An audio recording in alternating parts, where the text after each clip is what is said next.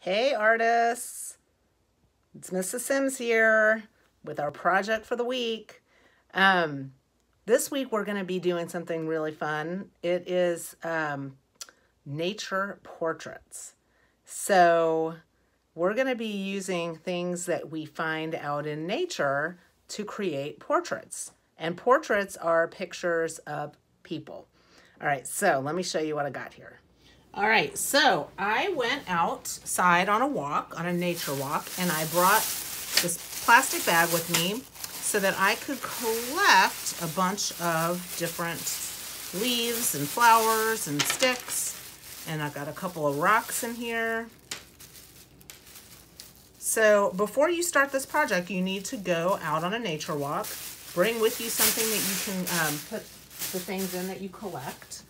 And then when you've got all of the stuff, you gotta have to, you're gonna have to look at everything and kind of figure out what you could use for the different parts of your portrait, of your face. So I'm gonna pause this for a second so that I can kind of look through what I collected and see what I think would work best for all the different features of my portrait. Okay, I'm gonna pause it and I'll be back in a minute. So I think what I'm going to do is I'm going to put it on time lapse so you guys can just kind of watch as I play around with all of my different um, leaves and flowers and sticks and things and just see how I create my portrait.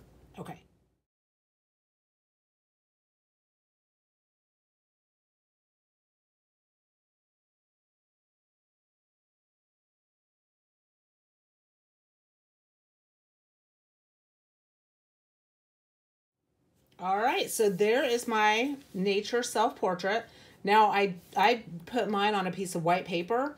You can always glue down your, um, your things onto your paper or you could just take a picture of it or have your mom or dad take a picture of it. However you want to do it. I did notice that there were some bugs crawling, like teeny little bugs crawling around on my paper that had obviously been on some of my leaves and such. So um, watch out for that. If you want, you can do this outside.